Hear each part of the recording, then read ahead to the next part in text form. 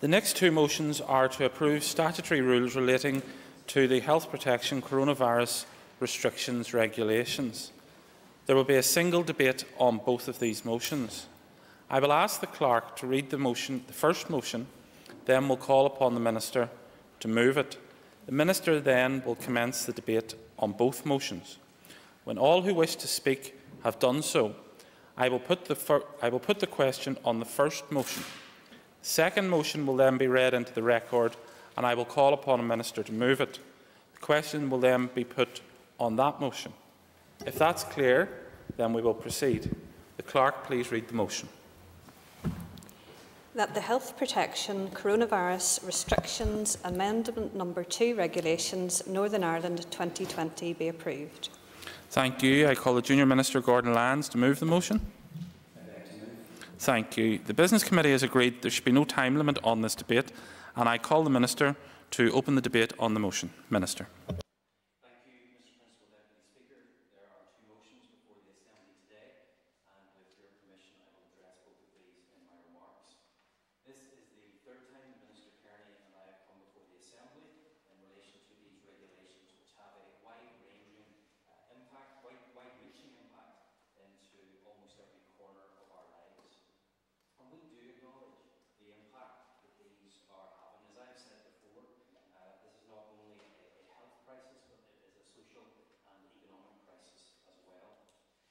I want to thank people for their patience and for the personal sacrifices that they have made.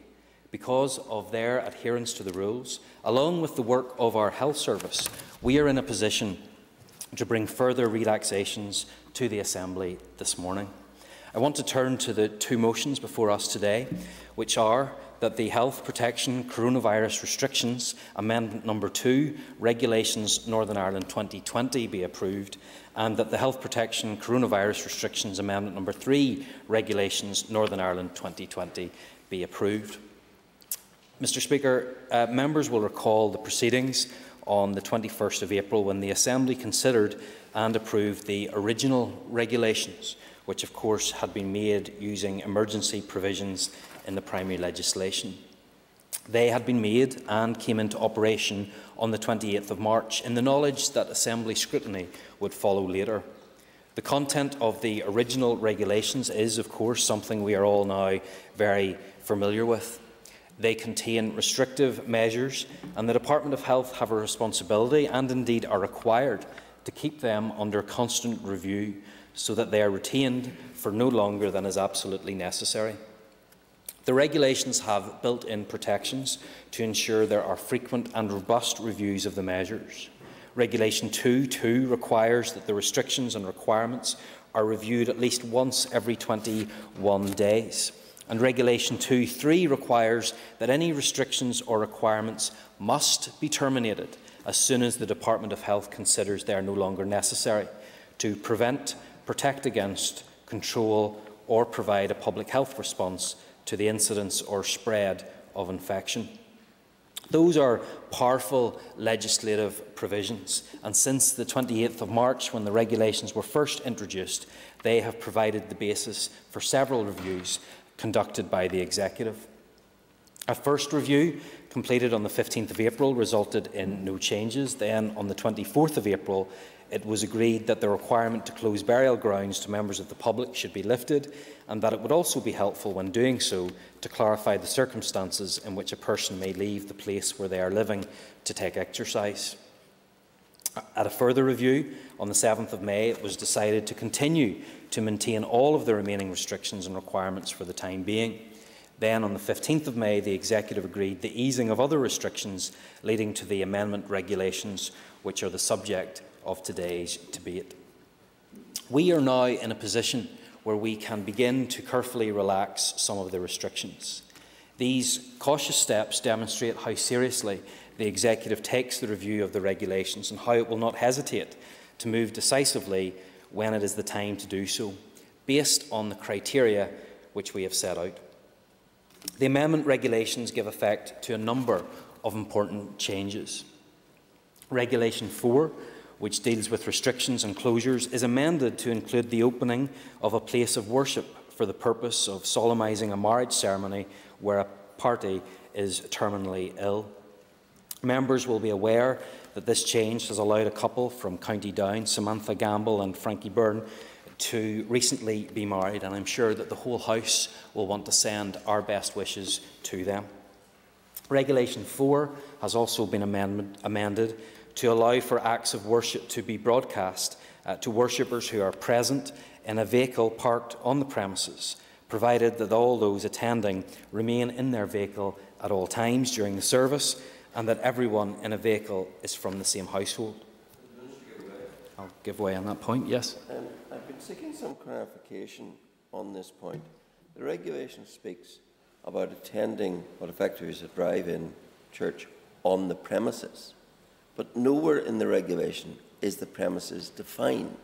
Does that mean it has to be premises within the curtilage of the church building, or can it be premises rented for the purpose, such as a nearby field or public car park? Could he clarify? Mr Principal Deputy Speaker, I don't have that particular information with me, but I certainly can check that out for the member. In my view, it would make sense if the church itself perhaps doesn't have a, a big enough car park, but perhaps if someone had a, a, field or another outdoor area that they wish to use, I would say that, using common sense, would say that that would be a, an acceptable alternative. Um, but I do promise that we will come back to the member on the particular point uh, that, that he raises. Regulation 5, uh, Mr Principal Deputy Speaker, um, also deals with restrictions uh, on movement and it is amended to include the need to access services provided by a district council or other public body, including household waste or recycling centres, as a reasonable excuse for a person to leave the place where they are living. Regulation 5 is also amended to allow people to undertake outdoor activity. A new regulation, 6A, has been added to allow outdoor gatherings of up to six people from different households or any number of members from the same household. Regulation 7 has been amended to clarify the application of enforcement provisions insofar as children are concerned. Regulation 9 has been amended to allow for the procedure to be used in cases where a district council issues a fixed penalty notice. And finally, parts 2 and 3 of Schedule 2 have been amended to allow garden centres and ornamental plant nurseries to open to customers, but not cafes or restaurants in such premises. Mr Speaker, these amendments mark further small but important steps on the Executive's pathway to recovery. None of us want the restrictions to remain for one moment longer than necessary. The regulations are key to winning the fight against COVID-19, key to an effective recovery and to a quick return to more normal ways. The Executive will continue to keep these regulations under review using the three essential criteria we published earlier this month. Firstly, evidence and analysis relating to the pandemic. This will include the latest medical and scientific advice, the estimated level of transmission, and the impact any relaxations might have uh, on the future trajectory of the pandemic. Secondly, the capacity of the health and social care services to deal with coronavirus cases while also returning um, delivery of normal services. And thirdly, assessment of the wider health, societal and economic impacts of the regulations, including the identification of areas where greatest benefit and lowest risk would result from the relaxation. The, relaxation, the, the regulations have worked uh, and continue to work. They have saved lives and they have prevented our health system from being overwhelmed. Now, Mr Principal Deputy Speaker, I know people want us to move more quickly. On a daily basis, I, and I'm sure like other members, um, get dozens of queries asking when X, Y and Z can be reopened. And people want to be indoors with their families, they want to get their businesses up and running again, or, or simply but importantly, they want to get their hair cut. Uh, Mr Principal Deputy Speaker, that's uh, an issue that's increasingly unimportant for me uh, with each passing year. But our message is simple. If we want to get there, we need to adhere to the rules that are in place now. The vast majority of people have made sacrifices and have obeyed the rules. That makes it all the more frustrating for them when they see others who are then flouting the rules. In my own constituency over the last number of evenings, large crowds have gathered in massive numbers uh, at the beach at, at Ballygally, and I know this is happening uh, in other places across Northern Ireland as well. They are disturbing local residents, they are being abusive to others, and they're getting into fights. This is unacceptable. And not only um, are they being involved in, in these sorts of activities, they're leaving litter behind as well. But they could be picking up something else. They could, of course, be picking up the virus. Now, there have been easements in restrictions. People are free, and rightly so, to do more than they were able to just a few weeks ago. And I want people to enjoy outdoor activities and to be able to sit in their gardens with a few friends or to visit garden centres. But the stupid and irresponsible actions of a few have the potential to threaten the progress that we have made, and that's an impact that all of us will then feel. And I want to say to the young people and to the others who have been breaking these rules help us to help you. We want to get back to where we were before, but that's only going to happen if we stick to and obey the rules that are in place. I want us to move through the stages of the Executive's recovery plan so that we can be in a place where we can consign these regulations to the bin. And the better we follow them, the sooner that that can happen. Mr Principal Deputy Speaker, I hope that I'll be able to come back uh, to this House again shortly, uh, bringing in uh, further uh, relaxations. Uh, but in the meantime, uh, I commend these regulations to the Assembly. Thank you. Thank you. Um, the first person on my speaking list is the Chair of the Executive Office Committee. Before I call him, I would remind members the Chair of the Executive Office Committee and the Chair of the Health Committee will be given a bit of leeway uh, in terms of maybe asking more than one question. But if I could again remind members to try and keep their questions uh, sharp and focused. I call the Chair of the Executive Office Committee, Mr Collins. Point of order. Oh, go ahead. I beg your pardon. Well done. I beg your pardon, it's a debate, you're correct. Not question time. My mistake. It's force of habit now, trying to keep you all going along. My mistake. I call the chair of the Executive Office Committee, who has as much leeway as he likes, Mr McGrath. Thank you very much, Mr Principal Deputy Speaker. And the fear you see is trying to get seven pages into a question, which would have been very interesting. But I rise to speak on behalf of the Committee of the Executive Office. Um, the committee very much welcomes the lifting of the restrictions uh, when the time is right. And I look forward to hearing from the chairperson of the Health Committee on the formal deliberations that took place around the legislation there. Um, there is no doubt that the restrictions have come at a cost to our citizens, our economy, and indeed the lives that we once led.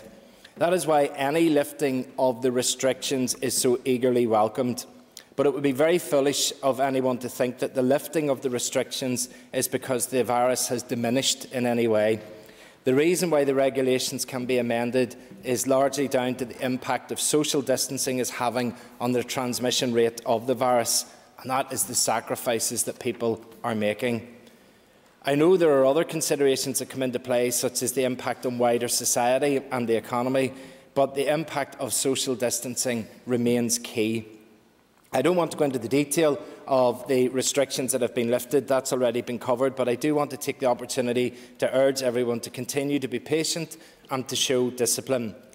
We have seen in recent weeks uh, evidence of more people out on the streets and out on the roads.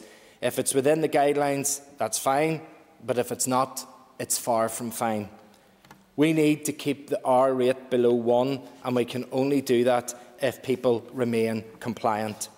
On behalf of the committee, I want to thank the Executive for its continued diligent, diligence in these new and difficult times and the measured responses that we have seen to an ever-changing circumstances.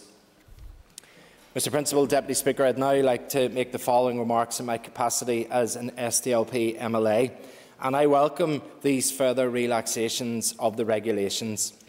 They are, I suppose, an indication that we are challenging the pandemic and that has only been possible due to the immense sacrifice that many in our community have taken, not least those that are shielding and socially isolating at home, forgoing their opportunity to be out and about and to meet up with their loved ones. We all in this House feel their pain uh, and know what they must be going through. And I'm sure that everybody in this House will send their support and thanks to them for the sacrifices that they have made. I want also to continue at each stage that these regulations are led to note that I am still unhappy with the democratic process of them. I know it's a technicality, but the fact that these regulations are decided, then they're enforced, and then agreement of this House is sought continues to feel somewhat back the front. But I acknowledge too the extreme and difficult times uh, that we are in and understand that decisions need to be taken quickly. I also want to thank and acknowledge the changes to the regulations which specifically permit acts of worship and for marriages where one of the individuals is terminally ill. I welcome those changes and recognise the specific nature of permitting the marriage of people with a terminal diagnosis. That was an incredibly heartfelt and human act, and it was uh, very welcome to see it. In these times, too, many people have turned to prayer and worship as a way to get through the pandemic.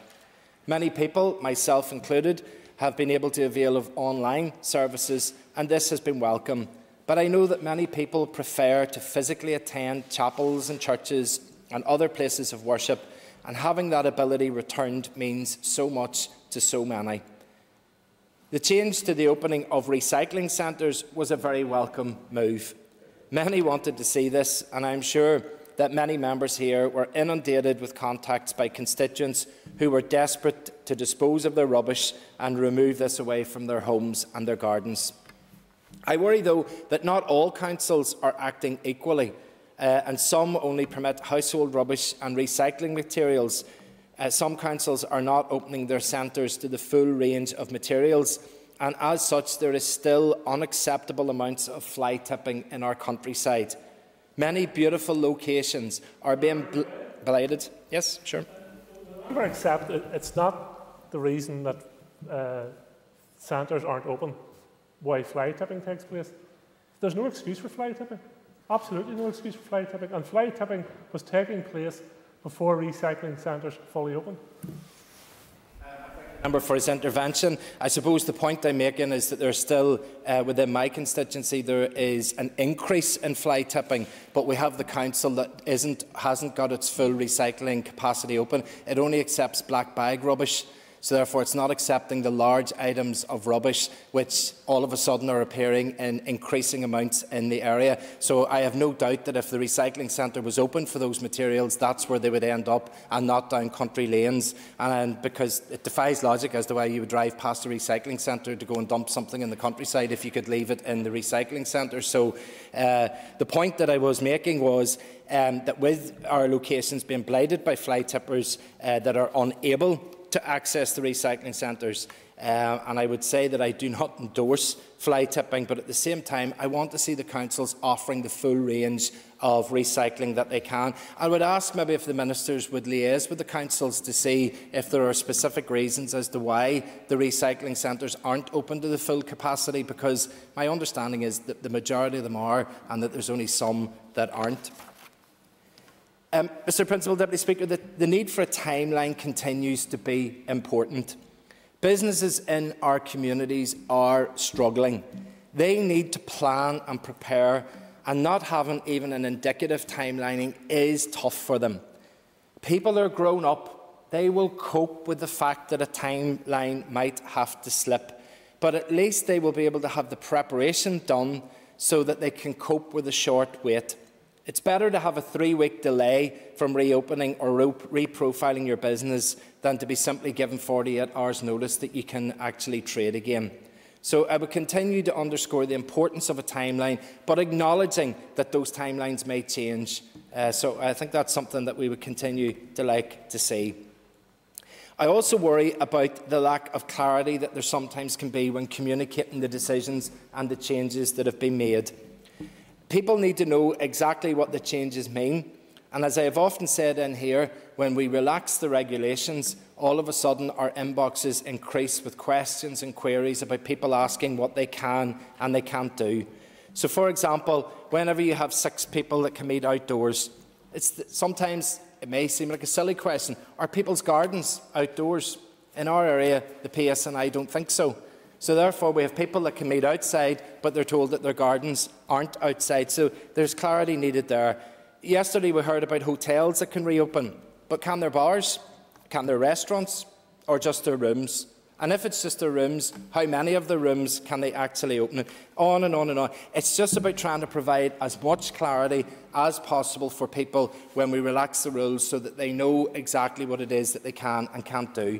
And I suppose some of that might come, um, as the Minister had mentioned, that we're saying we allow six people out, uh, outdoors. Now we see large groups of people. People forgetting that because you can meet outdoors, you still need to maintain the two metre distancing. Um, that if it means that you can go to certain locations, it doesn't mean that you leave your litter behind.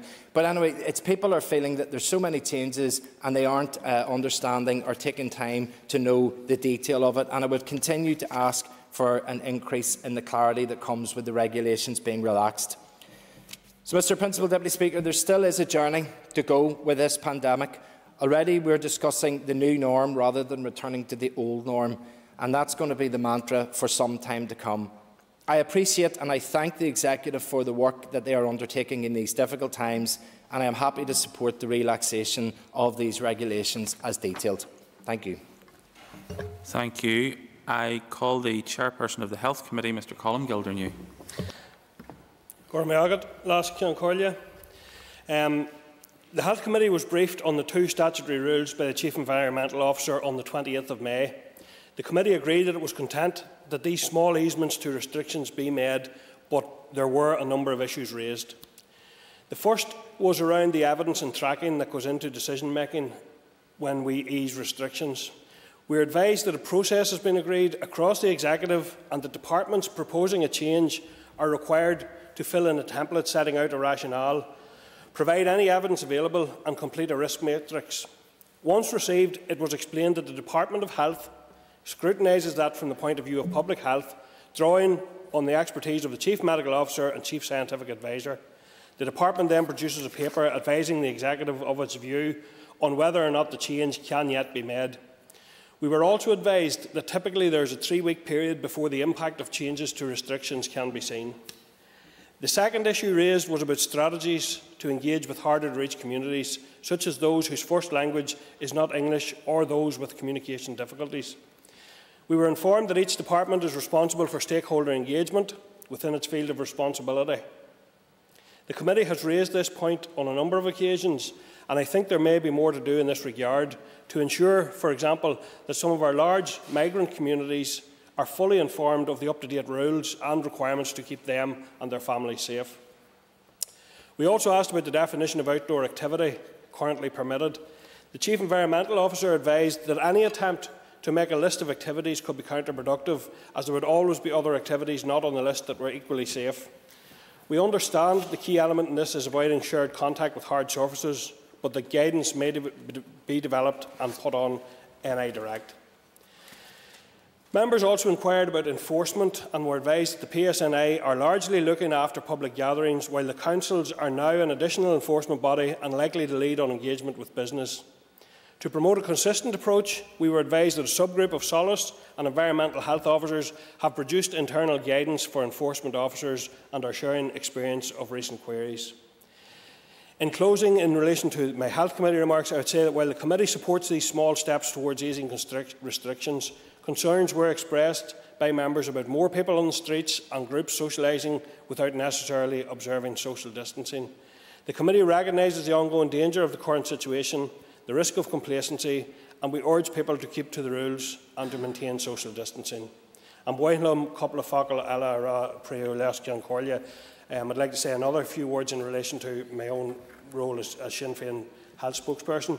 And I would just like to agree with all those remarks we've heard, and we've all seen the, uh, the uplift in terms of activity and the decrease in social distancing that we're seeing. And it's across all age ranges and, and across a range of settings as well.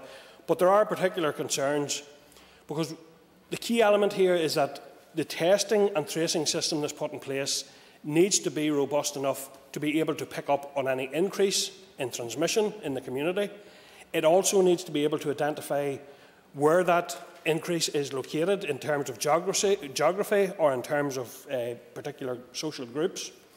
and be able to respond then in a, in a way that avoids another total lockdown, but that can, can provide targeted advice to people to isolate. And I think my, my concern remains around the harder to reach communities in, in relation to the fast moving nature of a lot of these um, restrictions being eased. There is, a, there is a risk that communities who have additional language difficulties will struggle to follow, and, and that what they're being guided by is what they see on the streets. And that could be, in fact, quite damaging or harmful, both to themselves and for the promotion of further spread of the disease. They, those communities also need additional support in terms of how they isolate. They're often living in higher multiple occupancy housing. They're also working in shift patterns of work and, and in work settings that are quite congregated. So I think we need to be really careful here. We also need to ensure, and, the, and there's a, a responsibility on the Department of Health at this point to ensure that the testing and tracing system is working and is sufficiently robust to spot any increase.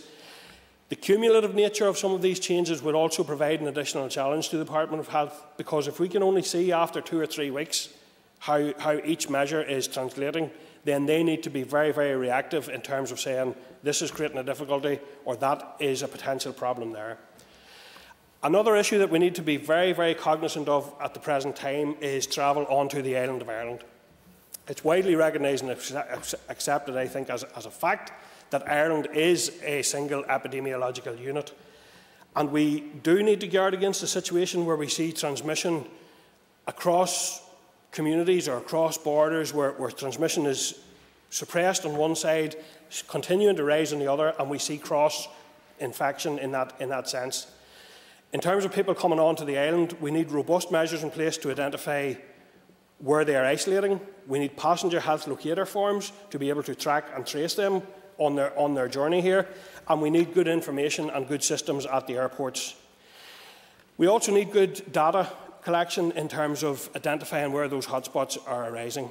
So I would be encouraging the executive and the department to continue those engagements, to continue to watch very carefully at what happens over this time.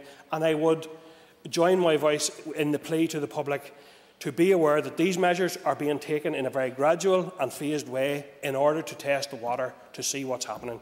And please do not take those as a signal to just go back to the old. The, the measure that was keeping this under control was the social distancing and the lockdown, and we need to maintain all those elements to maintain uh, safety for people. Thank you. I call Mrs Pam Cameron. Thank you, Mr Principal Deputy Speaker. Uh, first of all, I'd like to welcome the news that the coronavirus are now extremely low levels, that new positive tests are also at low levels, and contact tracing is being managed. Obviously, any death with this virus is one too many, and we commend the vast majority of who have adhered to the physical distancing measures, in particular, and of course, our incredible health service for helping us reach this point. I must take this opportunity to say how dismayed I am to hear the gatherings at beauty spots in recent days. And I would say to those who are behaving this way to stop. You and you alone will um, have an impact on how we go forward. And these actions will delay and prevent easements and restrictions. So, whilst the majority of people acting responsibly are patiently waiting to be able to do the simple things like hugging their grandchildren and loved ones.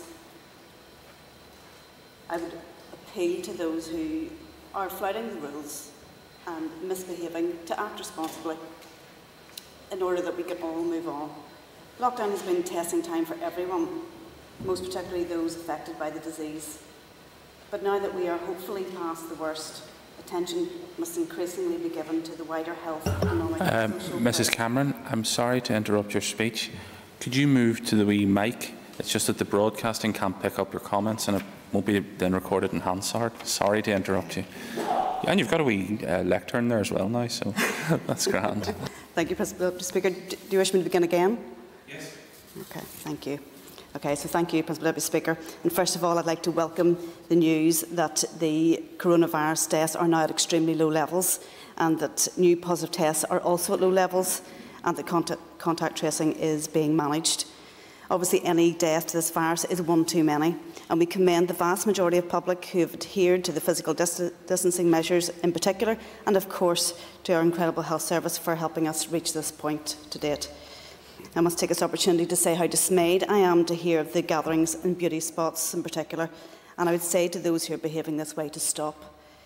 You will, uh, you will alone um, cause the delay in, uh, in, into the actions which we will come in to um, ease the restrictions by acting in this manner.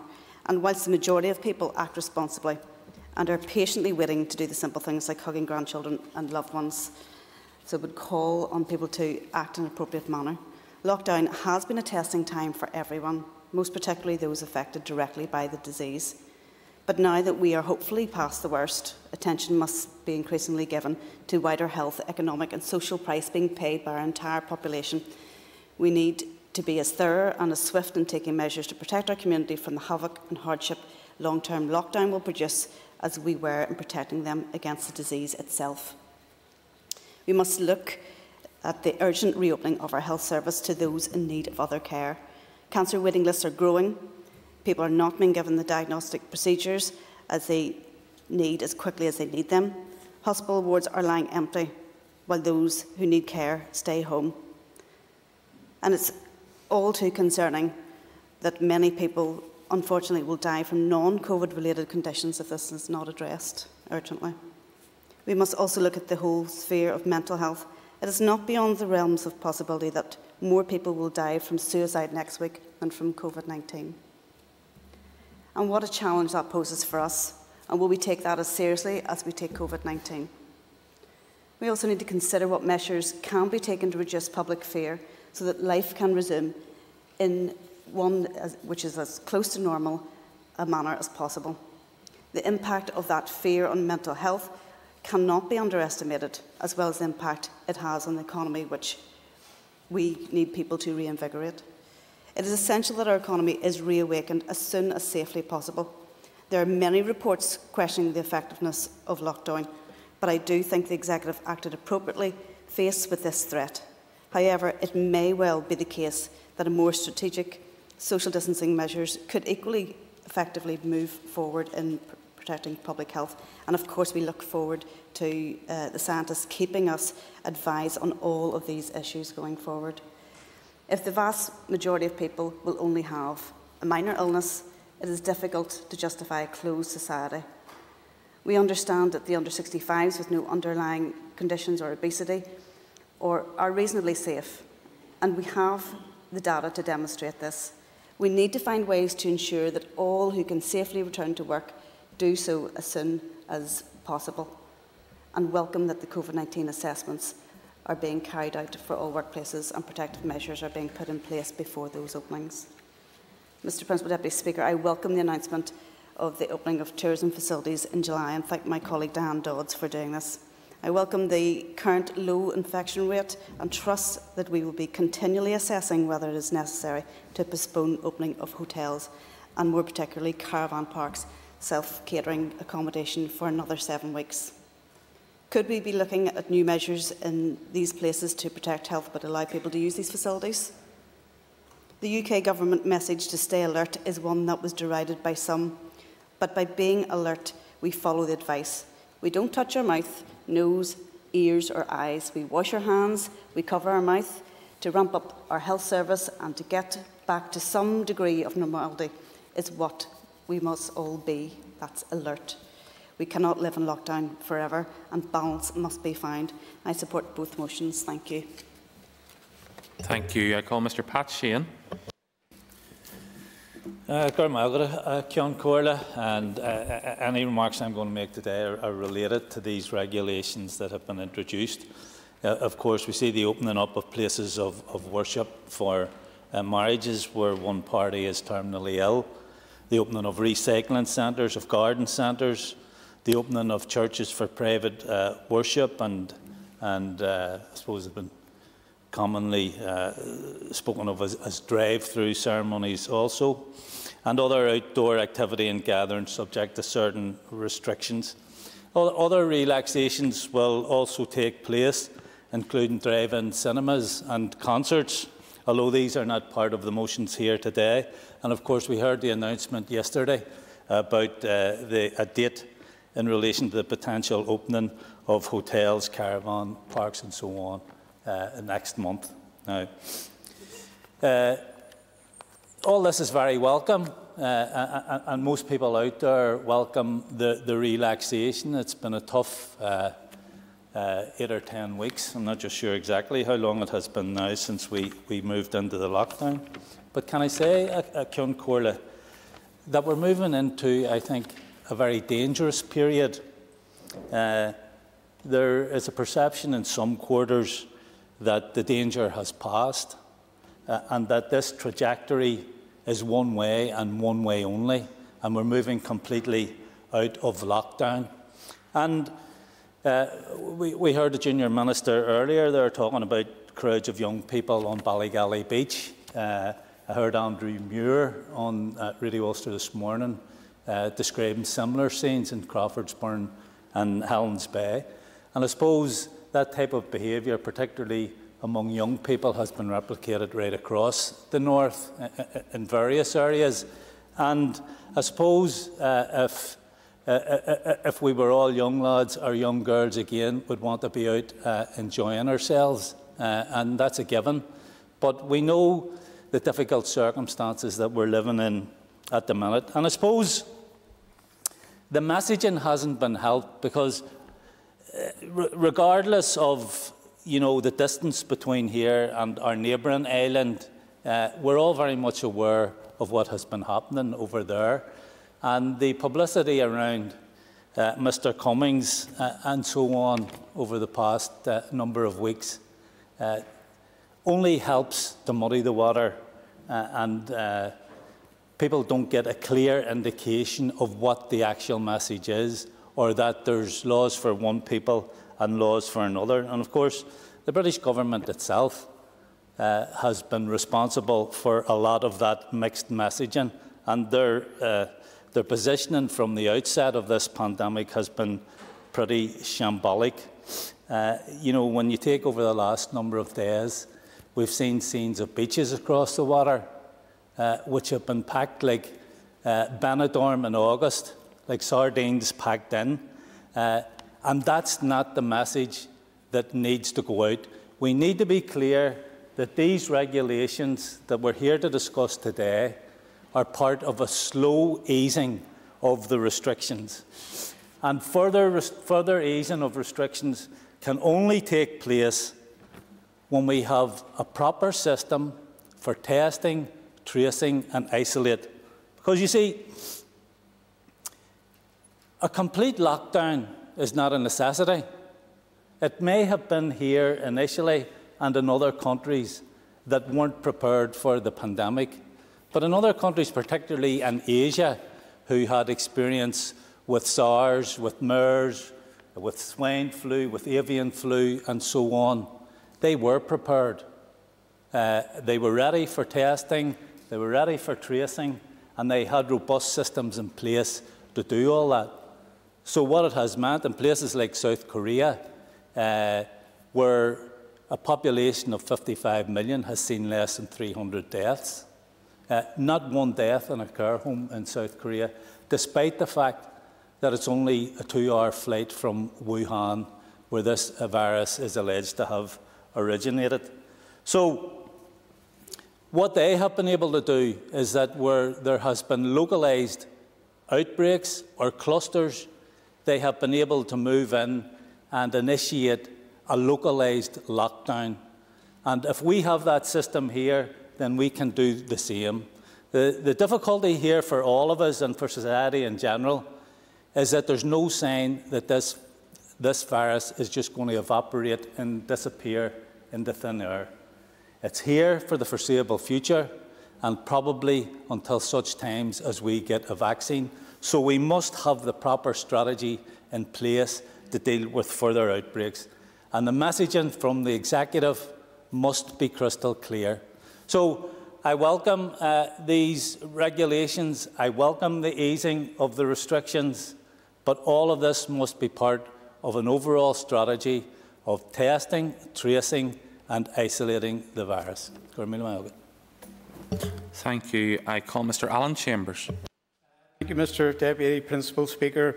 Um, certainly, uh, I support these uh, relaxations, uh, provided that they continue to be based purely on medical and scientific advice. I think that's very important.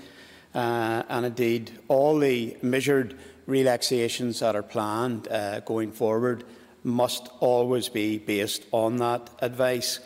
Um, as the Minister uh, alluded to in his opening remarks, uh, I'm sure we've all had uh, many phone calls that once one little bit of relaxation is given to one sector, all the other sectors are on the phone and emailing you and saying, well, if they can do that, why can we not do this?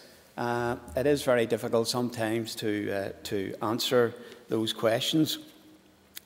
The, in relation to uh, the garden centres, as the chair of the Health Committee uh, mentioned, uh, we did have a presentation last Thursday from the uh, Chief um, Environmental Health Officer from the Department of Health, and I asked him about um, travel to uh, a garden centre that if my nearest garden centre was four miles down the road, but I decided that I was going to drive past it and go 10 miles down the road because I preferred uh, that garden centre, uh, would I be breaking the regulations?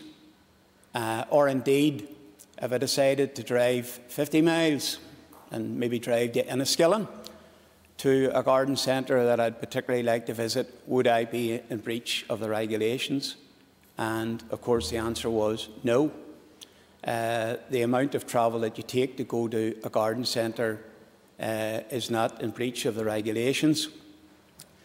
And I would have thought that maybe some sort of a caveat should have been in the regulations restricting uh, the length of travel that you could take to, to go to something like a garden centre. I know that, uh, at least I assume that the Republic of Ireland still have the five kilometre uh, limitation on travel, and I think I would have liked to have seen something like that here because what it has done, it has created a wee bit of a contradiction that because if you think back to a few weeks ago, the PSNI were stopping people and questioning them about going travelling to, to, take exercise, and people who couldn't justify uh, the distance that they were travelling to go to exercise uh, were being either turned back or, in some cases, given a fixed penalty ticket.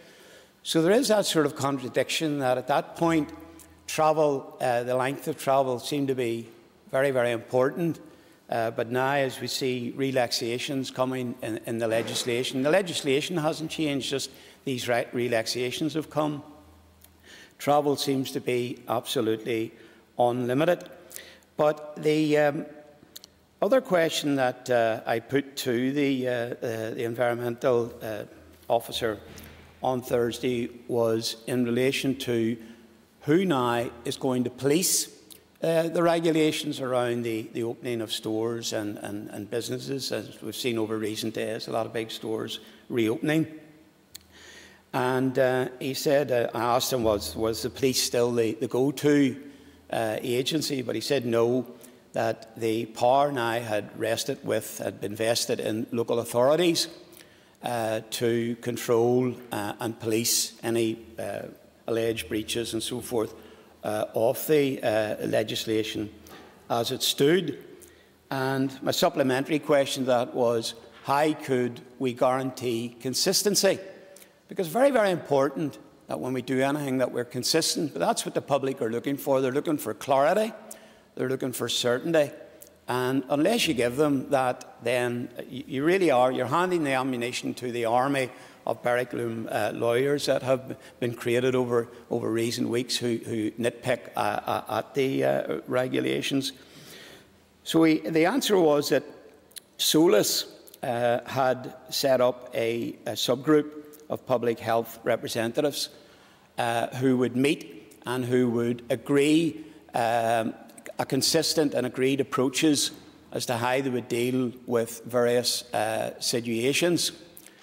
Now, that was just last Thursday uh, that that message was given to me at the Health Committee uh, on the public record. And the next day, you pick up a newspaper and you read that a Northern Ireland local authority has decided to go on a Zolo run in relation to estate agents being able to facilitate viewings uh, of vacant, uh, vacant properties. And that's the sort of thing I think maybe I was trying to highlight that you have that uh, inconsistency that in one council area an estate agent can do uh, that carry out that particular action of, of viewing of an empty property, but across the, the county line, as it were, uh, another estate agent can't. Uh, and that creates uh, a, sense of injustice among people in the same sector that uh, we, we, don't have a, um, a level playing field. But uh, in relation to um, all these pre announced openings, I think we have got to understand, I think uh, speakers have alluded to this, we've got to understand they're not a given. They are a date that have been given. Uh, they're not written in tablets in stone. They're absolutely subject to the R figure remaining below that magic figure of 1. And the only way that that figure will stay under 1 is if every member of the community continues to adhere and cooperate with the executive and with the authorities and with the advice from the Department of Health. And the advice, the best advice still is stay at home. Uh, and I think so. We, are all still, we have to hold the line. And the, the opening of hotels and everything else in, in the middle of July, it won't happen if we let our guard down. So we all have a responsibility to, to continue to hold the line. Uh, and just in, conclusion, in conclusion, I have to say uh, I admire the uh, chair of the executive committee's uh, blind faith that uh, fly tippers uh, will go to recycling centres uh, if and when they're open. Thank you. I call Mr Pat Catney. Thank you, Mr Deputy Principal Speaker. Um, I also rise here to support those motions as they've come in and uh, we um, are all out in order to try and protect as best we possibly can uh, the, our people here in Northern Ireland and our constituents. But I just want to speak for a moment now on, where, uh, on Lagan Valley. And uh, this week that's in it, and normality will come back, but this week that's in it is Volunteers Week, uh, Mr Deputy Principal Speaker. Uh, it's Child Safety Week and Volunteers Week. And where would we be uh, without our wonderful volunteers who stepped up to the plate and helped as much as they possibly can in order, in order to, to, to alleviate as much of the pain that was possible. So uh, from the 1st until the 7th, I, I would ask us all to think and register, as I said, for our, um, for our child safety and for volunteers. Little things, little bits of normality are creeping back in, and this brings normality.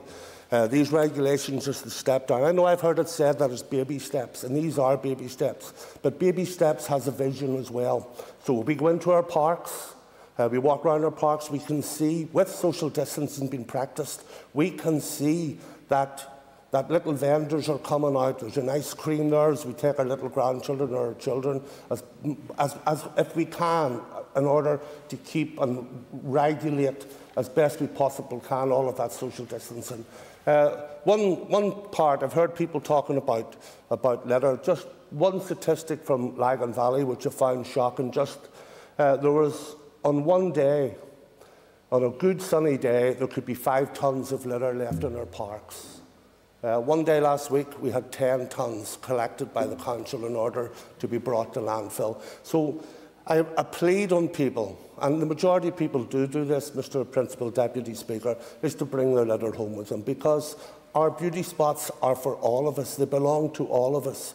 There are regulations that we don't travel to it, and I ask people to not break any of those regulations, but also to try and lift and tidy up uh, just after them. Uh, may I also, uh, just to conclude, uh, try to reassure that as their shops um, are about to, I think that there's a possibility they may open by, by the 8th of June, again with social distancing. We as an executive should send out the message and whatever help we possibly can to our councils to see that these shops are ready in order to try and get open back in the street. And another small little move is the street vendors, maybe with foodstuffs that are coming back in. It creates that atmosphere of trying to come back and trying to get normality back in together. But let's not forget, folks, our businesses that can't open and we have plenty of businesses that can't open, and we know them, and our offices are inundated with them. But as I say, with these small steps, if everyone sticks with them and goes along with them as, as given, maybe, just maybe, we can come out of this, and we come out of it as a much better and the new normal, and a much better and a stronger society. So I'm asking everyone to stick to the rules, and follow them as closely as possible as the real legislation comes in. Thank you, Mr Deputy, Principal Deputy Speaker. Thank you. Uh, I call Ms Paula Bradshaw. Thank you, Principal Deputy Speaker. I rise to support the regulations as amended and put it on record again that as a member of a Liberal Party, I do so with some discomfort. These regulations, even as amended, continue to place restrictions on civil liberties and on social contact, which at any time other than extreme public health emergency would rightly be seen as intolerable. It is welcome that we reached the stage last month when we could begin to, to ease restrictions and move out of lockdown. The impact of lockdown on economic well-being and livelihoods has, of course, been horrendous, but the impact on mental well-being and health has certainly been even greater. It is simply not natural for people to go without any contact with others, and this could not be allowed to continue any longer than necessary. It is unquestionably a good thing, therefore, that the amendments in the number three regulation um, enabled the coming together of six people outdoors with distancing, a safe way to restart contact. This does leave open, however, the serious concerns of people who have received shielding letters or those who are otherwise regard themselves to be shielding because they're caring for those who have received one or because they believe themselves to be in the vulnerable category and feel that the effects of the virus are too great a risk. Although there was an announcement yesterday by the First Minister and the Chief Scientific Officer made comment on shielding, the, the position has not been made totally clear. Those who are formally shielding remain instructed to stay home, seemingly indefinitely. It is also unclear whether people who are potentially vulnerable because of their condition or age or indeed feel free to meet outdoors. It may be not for these regulations to clarify this, but rather public information and guidance, but it should be clarified urgently and those who are expecting their shielding letters to receive it with the utmost urgency. It is welcome also that we can see at least to some extent how the rising of the restrictions is in line with the scientific advice the Executive is receiving. There will be a diversity of opinions among scientists, just as there is among any group of people, and the issues are complex, but we can see that good practice is being followed in terms of the regulations and the guidance in prioritising outdoor meetings and avoiding, as far as possible, the three Cs crowds, contact, and closed spaces. The question now is how we allow greater public freedom while also ensuring, as far as possible, that there are no further major outbreaks or spikes. Clearly, the much discussed R number has a role in determining this, but there are also a range of other considerations, including the very latest evidence of how the virus has spread, who is most likely to spread it, and where it is most likely to spread fastest. We need to combine this evidence with ensuring that our contact tracing system is able and competent to keep up with any new cases as we try to move the daily confirmed cases down towards zero.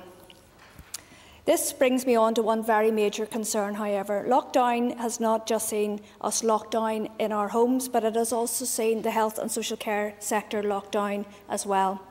Cancer screenings have stopped, diabetic clinics are delayed, and vital diagnostics and operations and treatments have been postponed. While we can understand that COVID 19 was all encompassing, the question now is how we're going to see the reopening of health and social care and also move on with the urgent transformation. People do not as yet appear to know the answer to that. Over two weeks ago, the Health Minister, um, in a response to a question I asked him, told me that last Thursday we would be receiving his comprehensive recovery plan. But as yet, we haven't seen it. We don't know what's in it. And certainly, as far as I can make out, the health professionals have not been engaged in that. If, we, if I could choose, uh, sorry, close by thanking the public for their consideration during these difficult few months. Never was there a time when respect, kindness and patience were more important than now. Some people will initially feel that they, were, are, they feel safer to stay at home and will not make use of the freedoms that are being put back in place. Others will genuinely feel that they have been too restricted in what they were permitted to do and where they were permitted to go.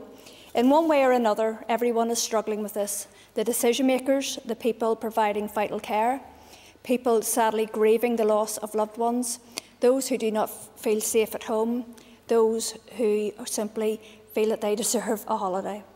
I would appeal to ministers and the authorities to, to ensure that communication of key messages and information remains clear and it is to all of us to show respect, kindness and patience throughout. Thank you. Thank you. I call Ms Claire Bailey. Thank you, Principal Deputy Speaker. And the Green Party welcomed the easing of lockdown measures and we're very thankful to the Executive as well for taking things slowly um, and doing it at our own pace in a way that's suitable for the people of Northern Ireland. But we do also feel that for the most part, at the minute, people are deciding for themselves that lockdown is over. We can see it on our streets and we can see it in our public spaces. And every time a restriction is lifted, I'm inundated, as I'm sure every other member of this House is, by people and businesses seeking clarity. And while today we are yet again passing retrospective changes in statutory rules, yesterday other restrictions were announced, leaving exactly the same questions being raised. Um, and I know that our Economy Minister has produced a priority sector guidance, which is a list published for advisory purposes to allow companies to make their own decisions. Yet when lockdown legislation was imposed, we did not allow anyone to make their own decisions. We asked for their acceptance and their adherence. So why is the different approach taken to the relaxation? As Mr Chambers has rightly raised, people do need clarity and consistency, and at the minute we don't have that. And amb ambiguity is encouraging people to interpret these changes to their own ends. So, who's responsible for ensuring the public health measures are followed in places where relaxation is allowed? While we see some people wearing masks and gloves, not all people are. Is there clarity on that? While people can be seen adhering to socially, social distancing in queues outside outlets, the same is not true when you're on the inside, for example, even if they're wearing protective uh, gloves and masks. They're handling goods off shelves and leaving them there. That puts staff and others at risk. Who bears that responsibility? I was told of one incident where a physical fight broke out in a car park between two parties, who then made up, shook hands, and return to their socially distant places in a queue before leaving with their watering can. Some shops only allow one person at a time to enter premises, while others are allowing groups to go in together. Some places disinfect equipment between shoppers, others don't. Where's the clarity on that? Some have one way systems, whether adhered to or not, and others don't. To answer these with reporting to the police or the HSE or local authorities is inadequate. We need to give people and businesses very clear instruction as we continue to lift the lockdown. Can all staff, for example, regardless of any underlying medical conditions, including mental health issues, and that of those that they're living with within households, be forced back into work as we relax these these measures. And let's not ignore the fact that most of these workers are in the caring, the retail, and the hospitality sectors, historically low paid and often have little contractual protections, even if we do clap for them on a Thursday. How can we continue to ask people to adhere to rules when the rules are so unclear? When lockdown was imposed, the virus was not as prevalent as it is today. So while the R number has fallen below one, and that is a very good thing, and due to all the efforts that have been put in, we do know that transmission is happening, yet responsibility for safety is still very unclear. Can I please ask that the further lifting of any restrictions start coming with very clear messages and responsibilities, please, because COVID 19 has not gone away, and we're all very aware of that. Thank you. Thank you. I call Mr Jim Allister. Thank you. The um, very modest steps involved in, in these uh, further easement uh, are a demonstration that we are undoubtedly moving at the pace of the slowest, which of course is one of the blights of the system of government that we have. Um, and yet, there is much talk, understandably, about the gathering of young people and others on beaches uh, and other places. And yet, the point that that demonstrates is the inadequacy of the regulations in the first place. Even though across the world, the common denominator of fighting COVID 19 is social distancing. This executive managed to produce regulations which do not, in law, require social distancing. There is no provision in these regulations that says that parties must stay two metres apart. Yes, it's in guidance, but it's not in the regulations. And though there's now much lamenting about the breaching of social distancing, part of the cause of that and the lack of ready remedy for that lies in the fact that this executive brought forth regulations from which that was absent. And even though we've had two, three changes to the regulations, we still haven't put that into the regulations.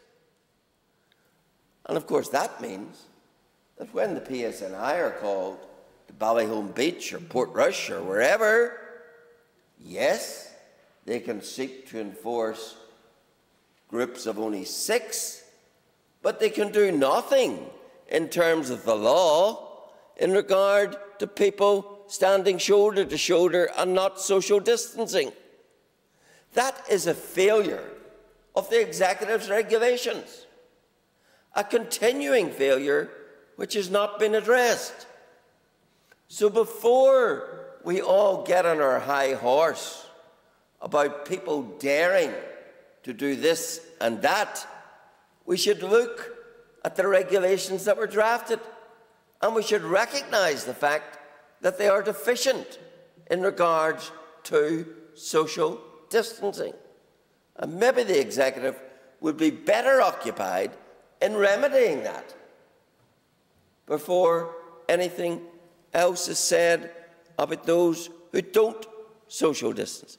Yes, of course, social distancing is the greatest antidote to avoiding the spreading of COVID 19. And yes, it is necessary, but it's equally necessary to be in the regulations. And yet, it isn't. Why not? Still, why not? So I think that's an issue. And then, of course, when you have people gathering, as they do, the public nuisance is compounded in many cases by the fact that public toilets are closed. I'm glad that the council area in which I live, Mid and East Antrim, has necessarily opened many public toilets. Because if people are going to gather at places, where is the logic in adding to health problems by not having public toilets? And I think that's something that needs to be addressed. But coming to regulations two and three, uh, which we're debating today. One of them humanely introduces marriage in church for the terminally ill. Necessary, sensible, right. But then the same executive only allows fair weather marriages for others. So here we have a situation where a family limited in numbers can have a funeral service in a church, a terminally ill party to a marrying couple can have a service in a church, but some other couple that want to get married, they have to do it outside and hope for a good day. Where is the logic in that? If churches are suitable for small funerals and small marriages involving the terminally ill, why are they not suitable for small marriages across the board? When we last debated these regulations, I said it was key to them ever securing the traction that they would hold, that they have an inherent common sense and cogency within them. And it is the lack of that which I fear is undermining regulations as much as anything else. The third regulation then introduces matters such as drive in services. Now, in this debate, I've already asked the junior minister, and I was disappointed he wasn't able to answer me because it's a question I've tabled to his office. Uh, and I think it is an important question uh, for those in the church fraternity. Because when you read the amendment that is made, it amends a clause, clause regulation 4.6, which begins with these words A place of worship may be used. And then it starts to list A, B, C for funeral, for broadcasting from, for voluntary services. And then we're going to add to that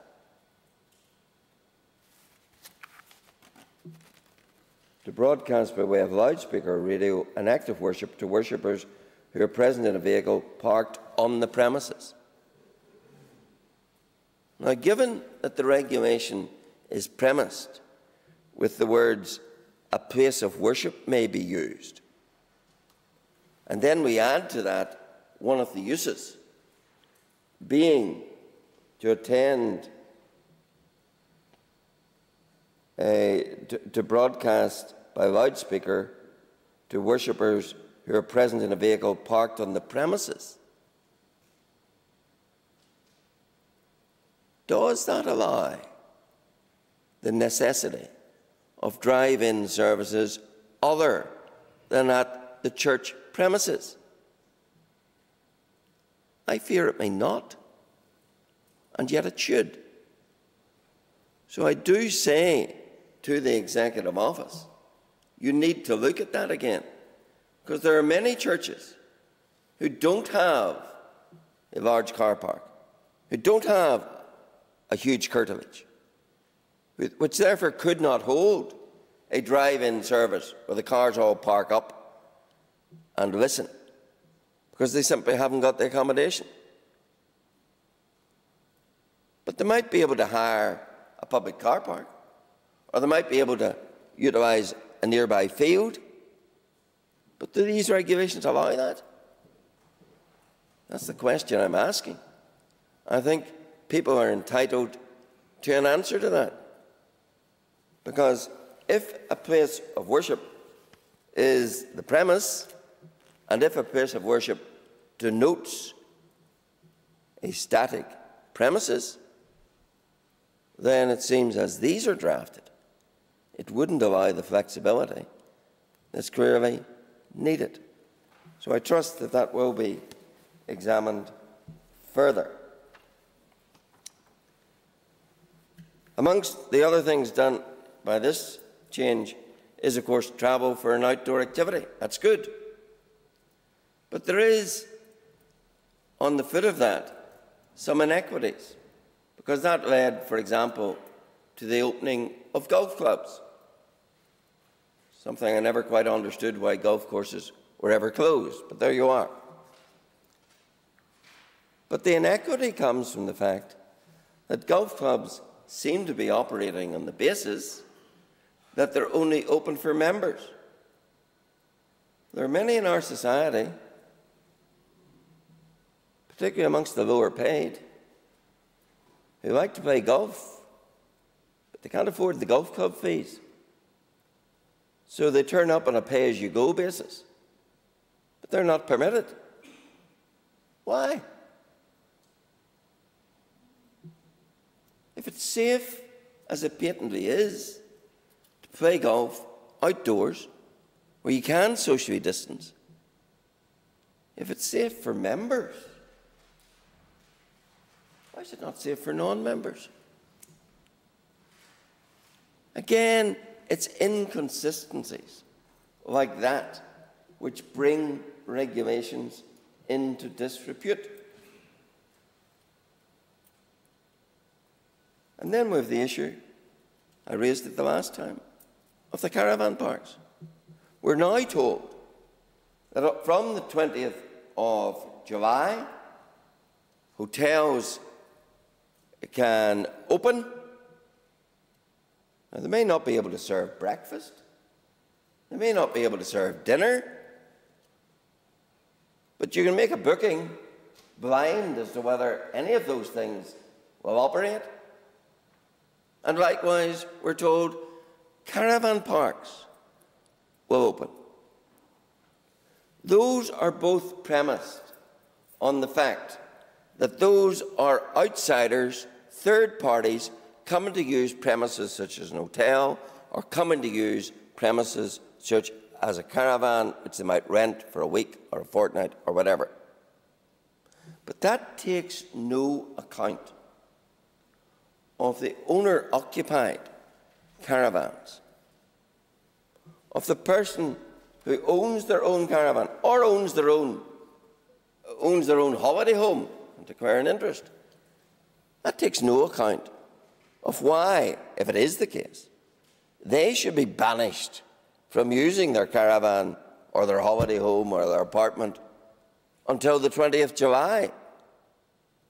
You know, if someone goes to their holiday home this weekend and behaves as they would behave at home, sitting in their own garden, going for their walk. What's the difference? Yes? The member agree with me. I, I've been contacted with people who are shielding at home in a room because they're not able to access because they have other family members that are using the living rooms and the kitchens and, other, and they're moving inside and outside. And these people are in rooms, yet they have caravans or second homes, which, if they were able to define that, they would have the run of the entire space on their own. And in terms of homes and caravans, maybe would have small gardens around it that they could go out and tend to. And it would actually be much better for their health rather than subjecting them to lockdown in a room. I have written to the, the department and asked uh, for a relaxation on that basis, but would the member agree that that would be a worthwhile and useful? Absolutely. I, I had an email this week, which would have brought tears to your eyes, of a lady who had gone to her caravan for that very reason, and yet was then expelled from her caravan and sent back home to a situation where she couldn't move out of the room. Now, when government makes provision that creates that sort of inequitable and uneven stipulation, then there's something seriously wrong. So I do say to the executive, you really do have to get a grip on how these regulations are working out in real life. And I say, as the member says, why couldn't someone who owns their caravan go to it, stay in it, sit outside it, take a walk. My goodness, in a week or two, they'll be able to get on a plane and fly to Spain. But they can't drive 20 miles down the road and stay in their own caravan. Where is the logic of that? It isn't there. So this just banding together of the whole concept of hotels, B&Bs, caravans, second homes, whatever, and just lumping them all together and treating them all the same is exactly what is creating the unease and the temptation to see these regulations dissipated by disobedience. And that essentially is the big, biggest challenge to them. That if the regulations lose public confidence, and there's manifestations of that, then they're going to lose their traction and they're going to lose their hold. And frankly, at the end of it, who can do much about it? Particularly when the most basic provision about social distancing isn't in, isn't even in the regulations. So, Mr. Principal Deputy Speaker, I welcome the tiny steps taken in these, but I do urge a more cogent advance away from this pace of the slowest and remembering the statutory obligation to retain any one of these regulations no longer than is necessary. And indeed, we were given to understand when the executive published their five step programme that within step one, parents or uh, people would be able not just to meet outside with other family members, but to visit in the homes of other family members. And yet that step has never been taken. Why? Why was it ever in step one if it wasn't going to be taken? Why give the false hope and then snatch it away? Another illustration of how public confidence is being sapped in the process of the regulations. And here we come close to the end of another debate on these matters. And we're told that everything's linked to the R rate. But you've yet to hear in this debate what the R rate is. Why this secrecy? Why every time does the R rate have to be dragged out?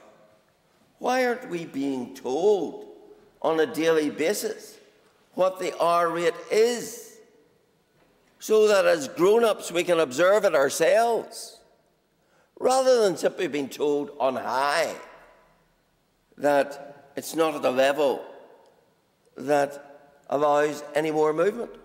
So I do ask in this debate, and I trust when the debate is answered, we will be told what is precisely the current R rate. Because everything is supposed to be predicated on that. So let's hear it. Let's see the graph of the R rate from this epidemic started till now.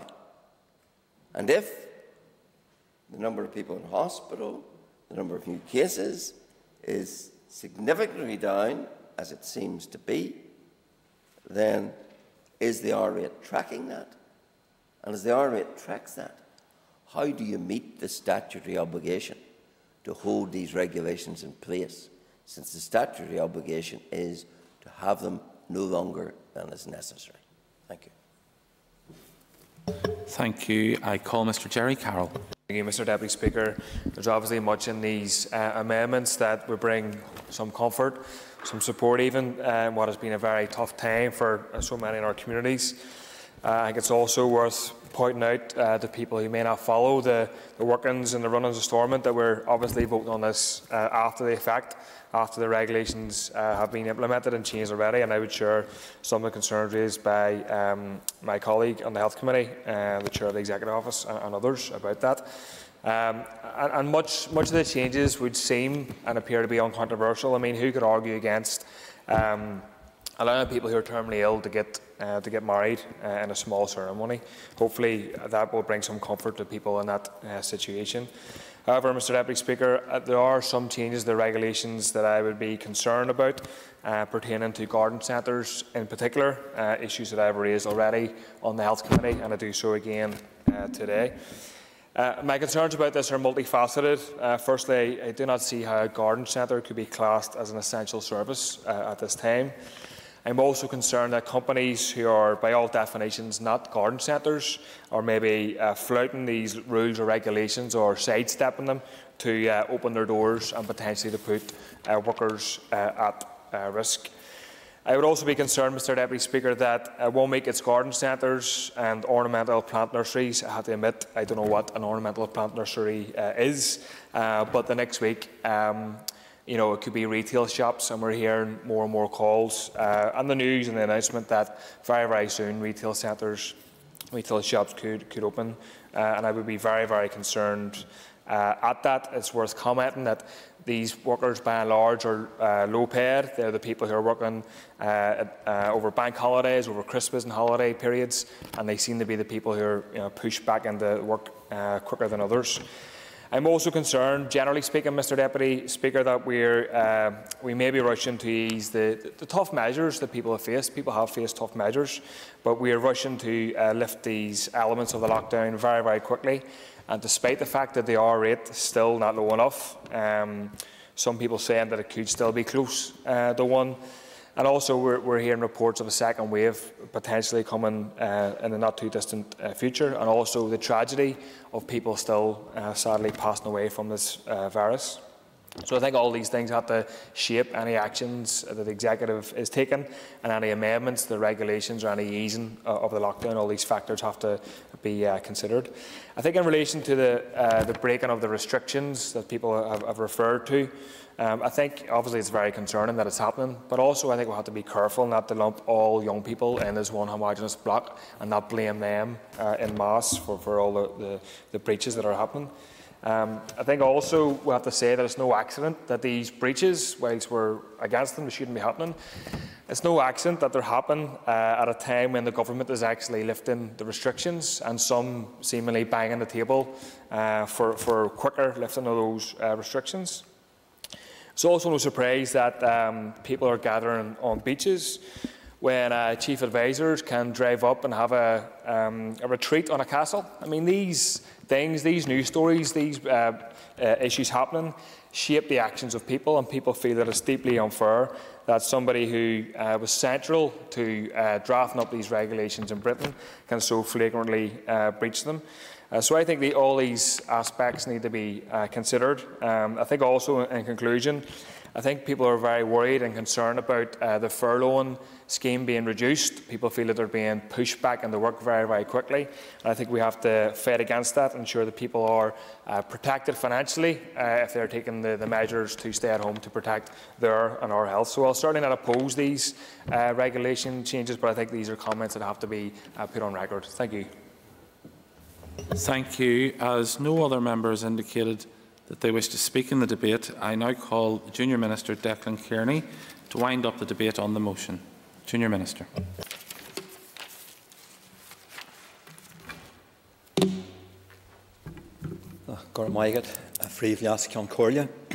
and thank you, Mr Deputy uh, Principal Speaker. Going buíhas leis na cótaí ar fád sin a codí leis an díospracht inniu, agus chum sa fáilte rih a god dúra mé. I want to thank all of those members who this morning have contributed to today's debate, and I welcome all of the comments shared with us.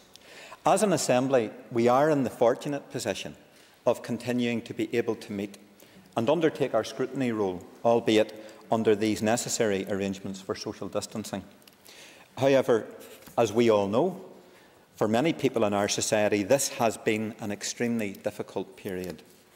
And that applies especially to those with special needs, for our elderly, those who have family in ICU, and sadly, all of those who have lost, lost loved ones during this period. And we should all be very proud of the positive way in which our community has responded to the scale of this emergency. As I said in our previous debate, we faced a situation at the end of March when these regulations came into effect where the scientific modelling suggested that a reasonable worst-case scenario may result in 15,000 deaths. However, and largely as a result of these regulations, that estimate has now been reduced by more than tenfold. And that's clear evidence a fríomh leascán cóirle that the regulations are indeed working. As we've said, all of us, many times in recent months, none of us, no members in this House, would ever have thought that such restrictions would ever have been required. But nor do we underestimate the significant effect that they have had upon our citizens. However, I am certain that the decision taken by the Executive and this Assembly to introduce these regulations without delay when their need became apparent has saved many, many lives. Níl an áras go bhfuil séaní beániu, go ddíireach margheall ar na. And I am glad to say that we have now reached a stage where we have been able to relax some of the very challenging restrictions that our people have been living with. And that's thanks entirely to the actions and compliance of our citizens. And it is right that we acknowledge the part that they have played in saving the lives of their peers. Is le pobl na sé an seo, idir óg agus idir éasta. But it is also important that we remind people that we are not yet out of the woods. We are still depending on everyone to follow the restrictions which remain in place. The Executive's message, therefore, remains the same. We need to stay at home as much as possible, limit our contact with other people, keep our distance if we do, in fact, go out and stay two metres apart. We need to wash our hands well and maintain that form of essential hygiene. Work from home if we can. And crucially, don't leave home if you or anyone in your household has symptoms. These measures Fríomh Leascán Cóirle are still critical in our efforts to save lives. And we need to keep repeating them as a reminder of their importance to us all. But I can assure you of this. We will never become complacent about the restrictions and requirements imposed by these regulations. They must not be allowed to become normalised. While the statutory requirement is for a review of the measures at least every 21 days, the Executive is committed to reviewing them on a constant basis, and that has been the case. We will not hesitate to make changes when the scientific and expert medical advice allows for that to happen.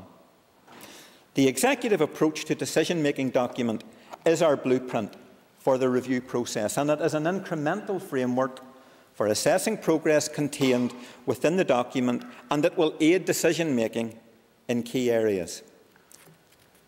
Members, it will facilitate more relaxations to come in the days and weeks ahead as we ease our way forward on the pathway to recovery. But we need to do so very slowly and very cautiously. A fríomh leascán cóirle bhhail am nearhas a. I'd like now, uh, Principal Deputy Speaker, to turn to some of the points that members have made during the debate today. And I will try to touch on most of the key issues, but will focus in particular on those issues raised specific and relevant to the amend amendment regulations at the centre of this debate. Our debate began with a contribution by Colin McGrath as chair of the TEO committee. And he highlighted as chair of the committee the cost of the regulations to us all. He did point out as chair of the committee that the relaxations depend on social distancing being maintained, and he appealed for ongoing compliance. He then, as a representative of the SDLP, expressed concern at the democratic deficit that we are living with in the management of our regulations. He welcomed the lifting of the recent restrictions, and he also noted and expanded on the issue of fly tipping. And, and I would add to the member's point because some of the fly tipping which we are seeing, in my view, is not simply incidental or related to lack of access to recycling centres. In some instances, fly tipping is taking place as a result of criminal enterprises, and that needs to be stamped out, and those responsible need to be brought before our courts. He asked if uh, we can liaise with councils regarding uh, recycling, and uh, that point is taken on board. This weekend past, I couldn't access my own recycling centre, so I travelled five miles to actually access uh, a recycling centre in a more urbanised area. So there are valid points being raised, and it changes from council to council. On the call for a timeline, I understand the calls that he has made for certainty, increased certainty. The Executive's position remains that the approach must reflect the evidence, not arbitrary and artificial timescales.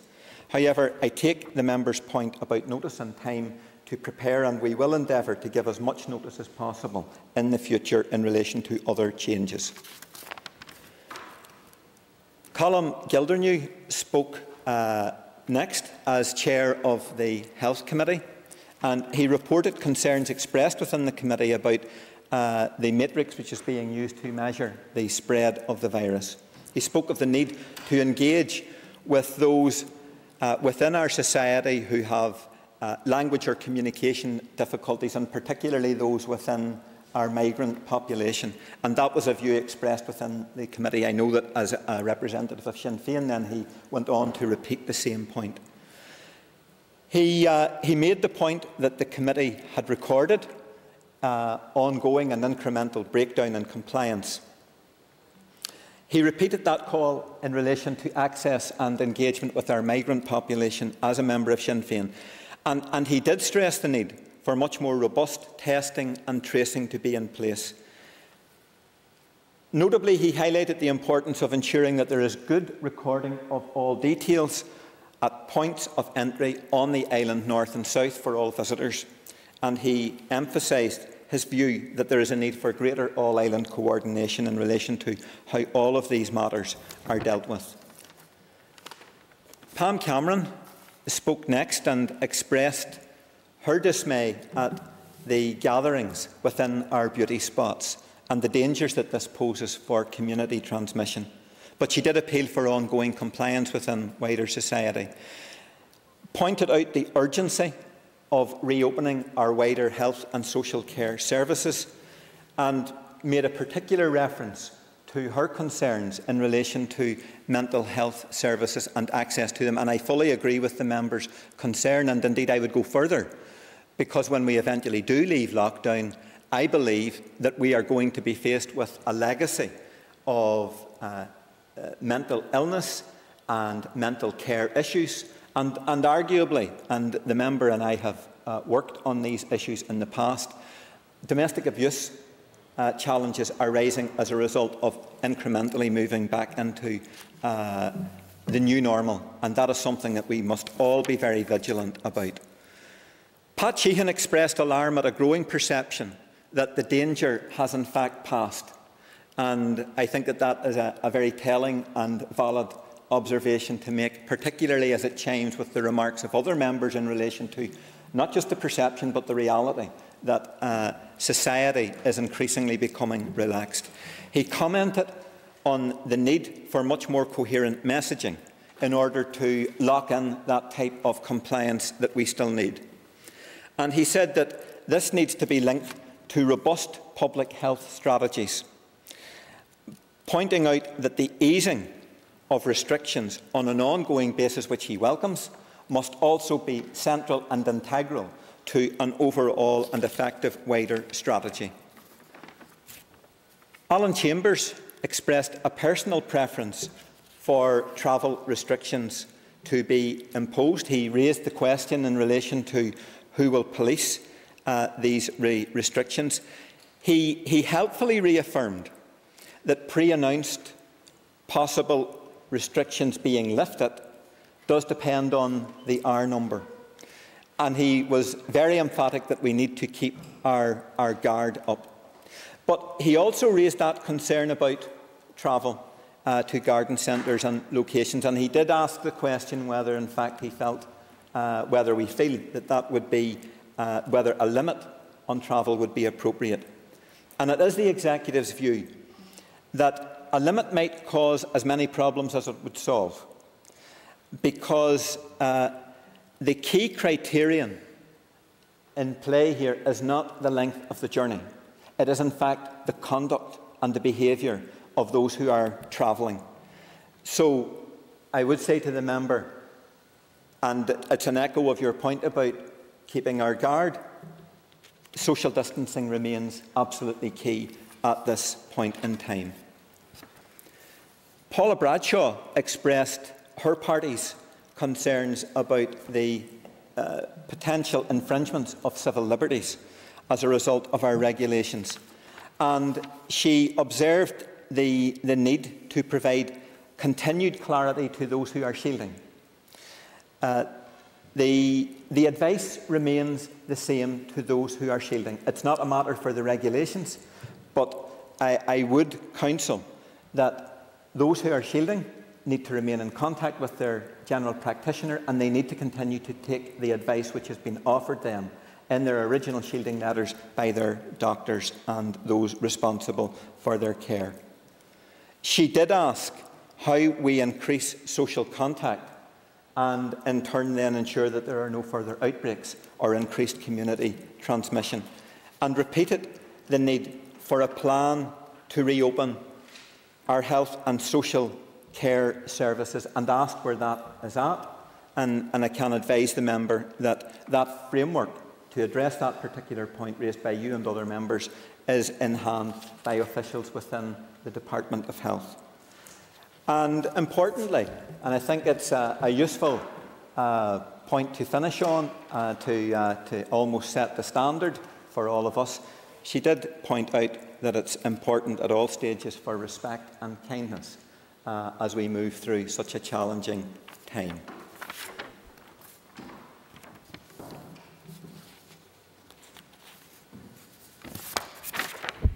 Uh, Lias Concordia, I think I'm right in saying that the next speaker was, uh, was Claire Bailey, and the member rightly emphasised the need for clarity and guidance for businesses on best practice. Your point's very well made, uh, and, and I too pay tribute to the excellent work done by our business community, by the trade union movement and health and safety colleagues in doing their best to provide us with optimal best practice guidance in relation to the here and the now and as we move through the lifting of further restrictions. restrictions. But there is more to be done. I also agree with you on that. And as each restriction is lifted, then we will continue to engage with all the relevant stakeholders in business, the employers, the trade union movement, and those with responsibility for health and safety in the uh, workplace to put in place effective guidance. The second last contributor to our debate today was uh, Jim Allister, uh, who pointed out in his view that the regulations are a failure because they are defective in relation to maintaining uh, social distancing. Um, he voiced his view in relation to anomalies concerning the conduct of weddings and, and expressed uh, a view that outdoor services in turn create an, an inequity. And I'll, I'll, return to his point in relation to drive-in services uh, shortly. Uh, he, he, did, in terms of inequities, go on to uh, raise the issue of access to private golf courses for non-members. And, and, this is not a matter for the regulations. It, it is, in fact, a matter for those who operate the golf courses. Uh, but the member also made a number of suggestions in relation to hotels and other holiday accommodation and caravans and, and, and was very focused in those remarks. But again, these, Afrivlias Concordia, are not matters for the regulations under debate today, but they are being considered with respect to the next likely series of amending regulations. Uh, in terms of the uh, drive-in church services, Uh, these are permitted only on premises belonging to the place of worship. And uh, that restriction uh, remains in place and is required to ensure, excuse me, to ensure that there is appropriate control by the person, the uh, clergy person, by the local church responsible for the act of worship which is taking place. The, uh, just let me finish, please, Mr Allister. The R factor uh, changes was, uh, was, was highlighted uh, by the, the member. The reality is that the R factor is an incredibly volatile measurement. It changes from day to day. But the last information, a Freevias Concordia, which I received in relation to the R factor, indicated that in fact it was in or about 0.9, which, as all the members in this House will now know, is moving very dangerously towards the, uh, the, the one number.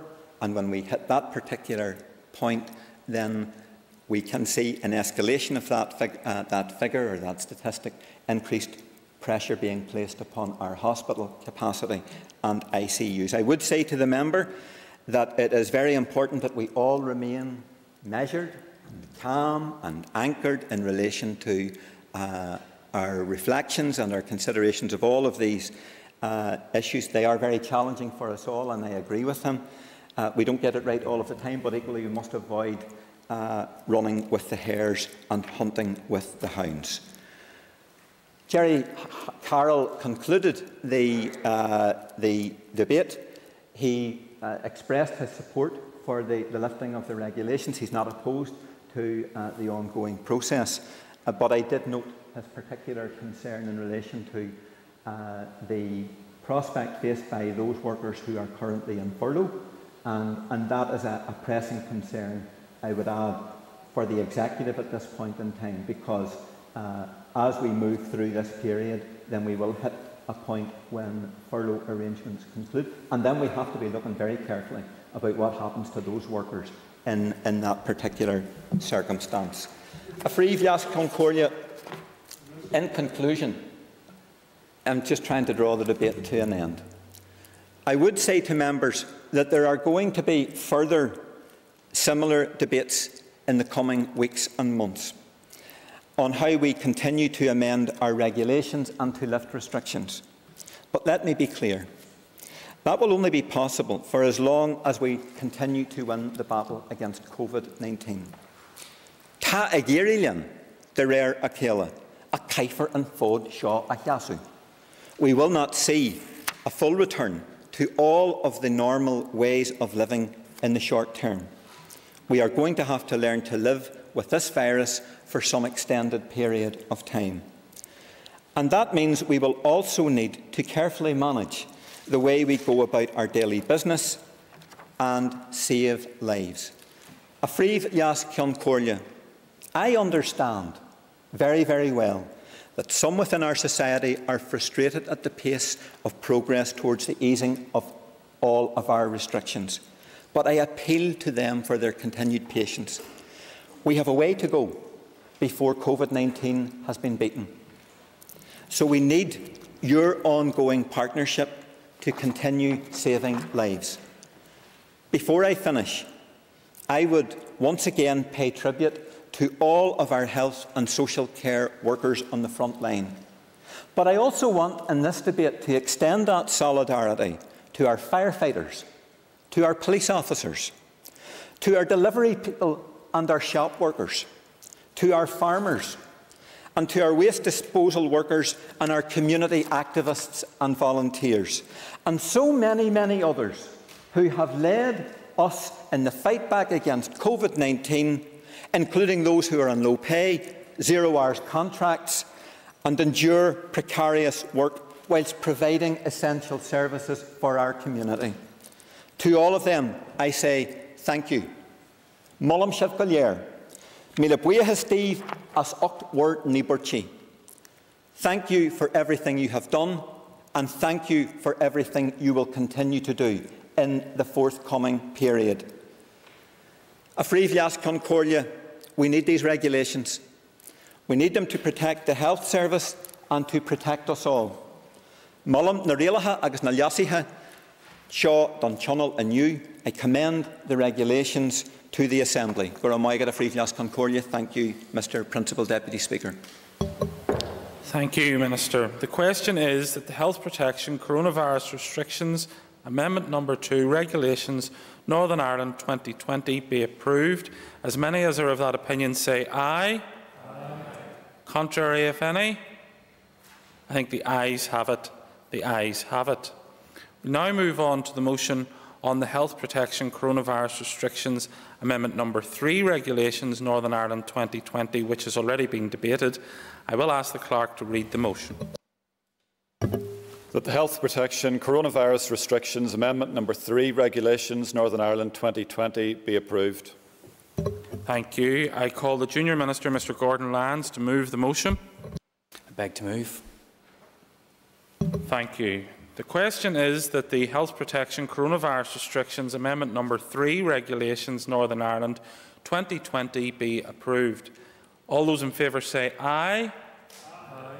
Contrary, if any? I think the ayes have it. The ayes have it. Thank you. The next item on the order paper is a legislative consent motion for the Sentencing Pre-Consolidation Amendments Bill. I will ask the Clerk to read the motion, please.